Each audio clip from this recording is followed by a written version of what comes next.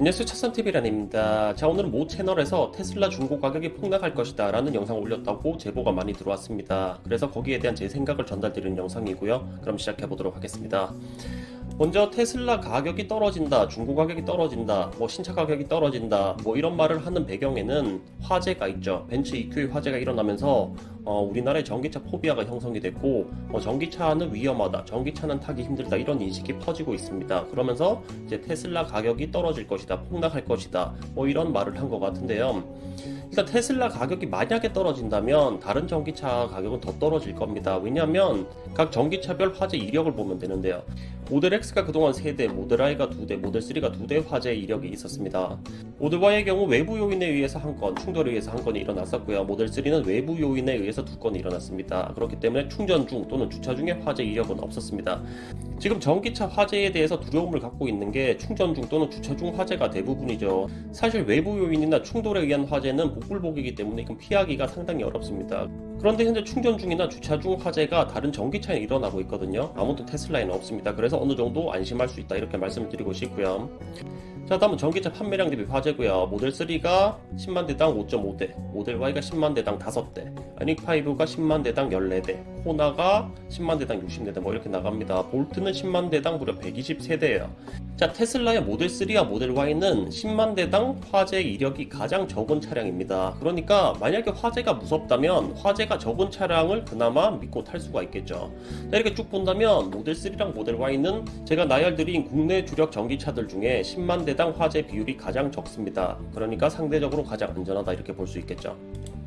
자 그래서 판매량 대비 화재를 보면 모델 3는 10만 대당 5.5대, 모델 Y는 10만 대당 5대고 충돌 및 외부 요인에 의한 화재를 제외할 경우 사실상 제로입니다. 그렇기 때문에 통계적으로 가장 안전한 전기차, 화재에 대해서 가장 안전한 전기차는 현재 기준 테슬라다라고 말씀드리고 싶고요.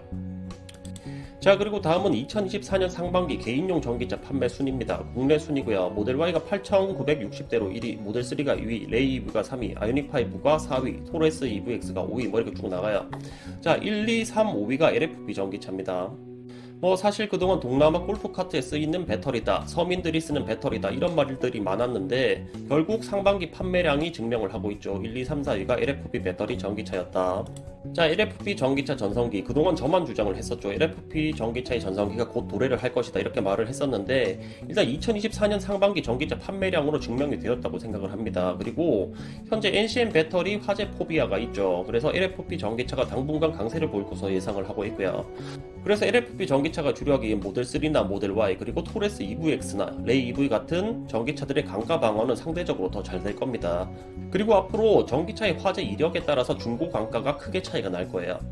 자 그리고 BYD LFP 전기차를 많이 물어보시던데 제가 몇 차례 말씀드린 대로 BYD LFP는 국내에 들어와도 크게 선전하기는 힘들 것으로 예상을 하고 있습니다.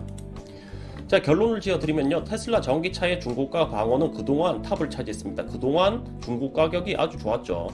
그렇기 때문에 앞서 말씀드린 화재 이력과 LFP 배터리까지 고려를 해본다면 만약에 테슬라 중고 가격이 폭락을 한다면 다른 전기차들은 떡락을 할 겁니다. 그리고 LFP 전기차가 현재 대부분인 테슬라의 중고 방어는 잘 될 것이고요.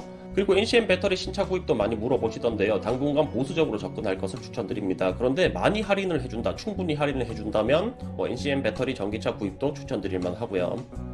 그런데 NCM 배터리 전기차를 앞으로 구입하실 때는 열폭주 지연 설계가 어느 정도까지 적용이 됐는지 반드시 따져보시고 구입하시기를 추천드립니다. 할인을 많이 해준다고 해서 살 게 아니라 열폭주 지연 설계 반드시 고려하시길 추천드리고요. 그리고 지금 뭐 떨어진다 떨어진다 폭락한다 또 이게 작전 세력일 수 있습니다. 지금 던지면 무조건 후회할 겁니다. 그러니까 추가적으로 좀 더 보유하시기를 추천드리고요. 이 또한 지나갑니다. 어 제가 볼 때 오래 걸릴 것 같지 않아요. 그러니까 조금만 더 기다리시면 다시 별 문제 없이 전기차 라이프 즐기실 수 있을 테니까요. 걱정하지 마시고 조금만 더 기다려 보시길 추천드리겠습니다.